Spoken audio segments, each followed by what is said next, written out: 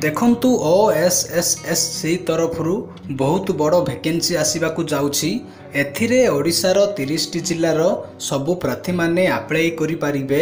ଏଥିରେ ଆପଣଙ୍କୁ ମାସକୁ ଆଠ ହଜାର ଆଠଶହ ଅଶୀ ଟଙ୍କା ସାଲେରୀ ମିଳିବ। ଯେଉଁମାନେ ଆପ୍ଲାଏ କରିବାକୁ ଚାହୁଁଛନ୍ତି ସେଇମାନେ ଭିଡ଼ିଓଟିକୁ ଶେଷ ପର୍ଯ୍ୟନ୍ତ ଦେଖନ୍ତୁ। ଭିଡ଼ିଓଟିକୁ ଶେଷ ପର୍ଯ୍ୟନ୍ତ ଦେଖିବା ଦ୍ୱାରା ଆପଣମାନେ ସମ୍ପୂର୍ଣ୍ଣ ରୂପେ ବୁଝିପାରିବେ ଯେଉଁମାନେ ଆମ ଚ୍ୟାନେଲକୁ ଫାଷ୍ଟ ଟାଇମ୍ ପାଇଁ ଦେଖୁଛନ୍ତି ଭିଡ଼ିଓକୁ ଗୋଟିଏ ଲାଇକ୍ କରନ୍ତୁ ଚ୍ୟାନେଲକୁ ସବସ୍କ୍ରାଇବ୍ କରି ପାଖରେ ଥିବା ବେଲ୍ ଆଇକନ୍କୁ ପ୍ରେସ୍ କରି ଅଲ୍ ନୋଟିଫିକେସନ୍ ବଟନ୍କୁ ଅନ୍ କରନ୍ତୁ। ସବସ୍କ୍ରାଇବ୍ କରିବା ଦ୍ୱାରା ଆପଣମାନେ ସବୁଦିନ ଏମିତି ଭିଡ଼ିଓ ଫାଷ୍ଟ ଦେଖିପାରିବେ। ଚାଲନ୍ତୁ ବର୍ତ୍ତମାନ ଭିଡ଼ିଓଟିକୁ ଷ୍ଟାର୍ଟ କରିବା।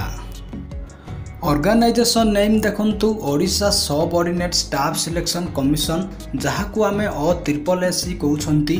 Odisha subordinate staff selection commission ତରଫରୁ ଭେକେନ୍ସି ବାହାରିଛି।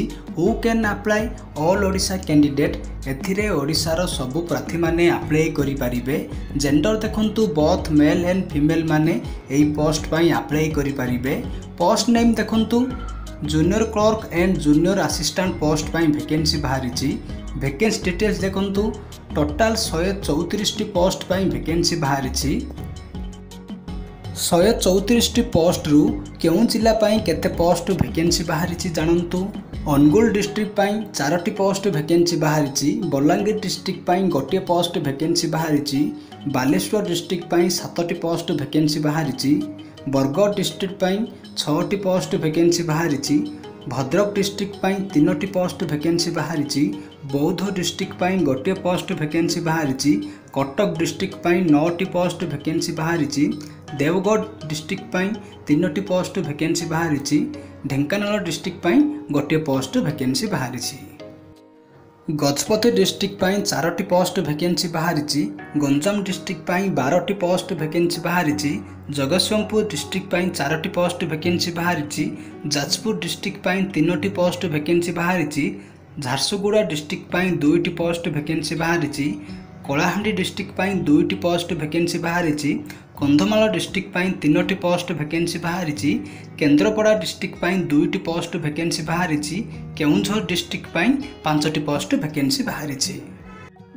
ଖୋର୍ଦ୍ଧା ଡିଷ୍ଟ୍ରିକ୍ଟ ପାଇଁ ପଚିଶଟି ପୋଷ୍ଟ ଭେକେନ୍ସି ବାହାରିଛି କୋରାପୁଟ ଡିଷ୍ଟ୍ରିକ୍ଟ ପାଇଁ ତିନୋଟି ପୋଷ୍ଟ ଭେକେନ୍ସି ବାହାରିଛି ମାଲକାନଗିରି ଡିଷ୍ଟ୍ରିକ୍ଟ ପାଇଁ ଚାରୋଟି ପୋଷ୍ଟ ଭେକେନ୍ସି ବାହାରିଛି ମୟୂରଭଞ୍ଜ ଡିଷ୍ଟ୍ରିକ୍ଟ ପାଇଁ ଦୁଇଟି ପୋଷ୍ଟ ଭେକେନ୍ସି ବାହାରିଛି ନବରଙ୍ଗପୁର ଡିଷ୍ଟ୍ରିକ୍ଟ ପାଇଁ ଦୁଇଟି ପୋଷ୍ଟ ଭେକେନ୍ସି ବାହାରିଛି ନୟାଗଡ଼ ଡିଷ୍ଟ୍ରିକ୍ଟ ପାଇଁ ପାଞ୍ଚଟି ପୋଷ୍ଟ ଭେକେନ୍ସି ବାହାରିଛି ନୂଆପଡ଼ା ଡିଷ୍ଟ୍ରିକ୍ଟ ପାଇଁ ଦୁଇଟି ପୋଷ୍ଟ ଭେକେନ୍ସି ବାହାରିଛି ପୁରୀ ଡିଷ୍ଟ୍ରିକ୍ଟ ପାଇଁ ଦୁଇଟି ପୋଷ୍ଟ ଭେକେନ୍ସି ବାହାରିଛି ରାୟଗଡ଼ା ଡିଷ୍ଟ୍ରିକ୍ଟ ପାଇଁ ଚାରୋଟି ପୋଷ୍ଟ ଭେକେନ୍ସି ବାହାରିଛି। ସମ୍ବଲପୁର ଡିଷ୍ଟ୍ରିକ୍ଟ ପାଇଁ ତିନୋଟି ପୋଷ୍ଟ ଭେକେନ୍ସି ବାହାରିଛି ସୁବର୍ଣ୍ଣପୁର ଡିଷ୍ଟ୍ରିକ୍ଟ ପାଇଁ ତିନୋଟି ପୋଷ୍ଟ ଭେକେନ୍ସି ବାହାରିଛି ସୁନ୍ଦରଗଡ଼ ଡିଷ୍ଟ୍ରିକ୍ଟ ପାଇଁ ପାଞ୍ଚଟି ପୋଷ୍ଟ ଭେକେନ୍ସି ବାହାରିଛି। ଟୋଟାଲ୍ ଶହେ ଚଉତିରିଶଟି ପୋଷ୍ଟ ଭେକେନ୍ସି ବାହାରିଛି। ଯଦି ଆପଣଙ୍କର କିଛି ଡାଉଟ୍ ଅଛି ତାହେଲେ କମେଣ୍ଟ କରନ୍ତୁ ମୁଁ ରିପ୍ଲାଏ ଦେବି।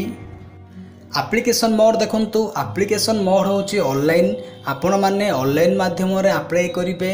ଆପ୍ଲିକେସନ୍ ଫି ଦେଖନ୍ତୁ ଏଥିରେ general S B C candidate ମାନଙ୍କ ପାଇଁ ଶହେ ଟଙ୍କା ଆପ୍ଲିକେସନ୍ ଫି ରଖାଯାଇଛି କିନ୍ତୁ S C S T candidate ମାନଙ୍କ ପାଇଁ କୌଣସି ଆପ୍ଲିକେସନ୍ ଫି ରଖାଯାଇ ନାହିଁ ସେମାନେ ଫ୍ରିରେ ଆପ୍ଲାଏ କରିପାରିବେ ଏଜୁକେସନାଲ୍ କ୍ୱାଲିଫିକେସନ୍ ଦେଖନ୍ତୁ The candidate must have passed graduation in any discipline with knowledge in computer ଯଦି ଆପଣମାନେ ଗ୍ରାଜୁଏସନ୍ ପାସ୍ କରିଥିବେ ତାହେଲେ ଆପଣମାନେ ଏହି ପୋଷ୍ଟ ପାଇଁ ଆପ୍ଲାଏ କରିପାରିବେ ତା ସହିତ ଆପଣଙ୍କର କମ୍ପ୍ୟୁଟର ନଲେଜ୍ ଥିବାକୁ ପଡ଼ିବ। ସାଲେରୀ ଦେଖନ୍ତୁ ଏଥିରେ ଆପଣଙ୍କୁ ଆଠ ହଜାର ଆଠଶହ ଅଶୀ ଟଙ୍କା ସାଲେରୀ ମିଳିବ। ଜବ୍ ଲୋକେସନ୍ ଦେଖନ୍ତୁ ଅଲ୍ ଓଡ଼ିଶା ଭେକେନ୍ସି ଆପଣଙ୍କର ଯେକୌଣସି ଜିଲ୍ଲାରେ ମଧ୍ୟ ପୋଷ୍ଟିଂ ହୋଇପାରେ। ସିଲେକ୍ସନ୍ ପ୍ରୋସେସ୍ ଦେଖନ୍ତୁ ଏଥିରେ ଆପଣଙ୍କର ରିଟର୍ନ ଏକ୍ଜାମ୍ ହେବ କମ୍ପ୍ୟୁଟର ସ୍କିଲ୍ ଟେଷ୍ଟ ହେବ ଡକୁମେଣ୍ଟ ଭେରିଫିକେସନ୍ ହେବ। ଯଦି ଆପଣଙ୍କୁ ଭିଡ଼ିଓଟି ଭଲ ଲାଗିଛି ତାହେଲେ ଭିଡ଼ିଓଟିକୁ ନିଜ ସାଙ୍ଗମାନଙ୍କୁ ସେୟାର କରନ୍ତୁ।